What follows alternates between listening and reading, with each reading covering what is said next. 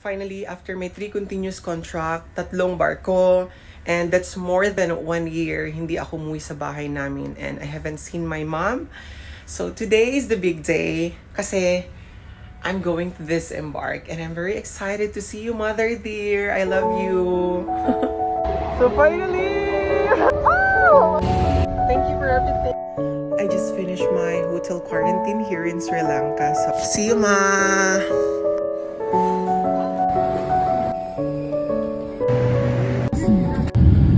Welcome to Dubai.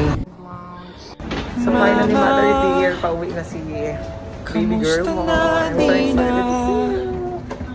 Tayong lagi nakikita Miss na kita sobra Lagi na lang kami yung nauna Di ba pwedeng ikaw muna. Akin ang pangamba. Dahil ikaw ang aking mata Sa Home is always the best. place. nag-iibang dahilan ng aking paghinga.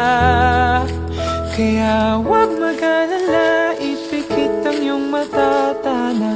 Pahinga muna, ako nang bahala, labis pa sa labis ang iyong nagawa, mama. Pahinga muna, ako na.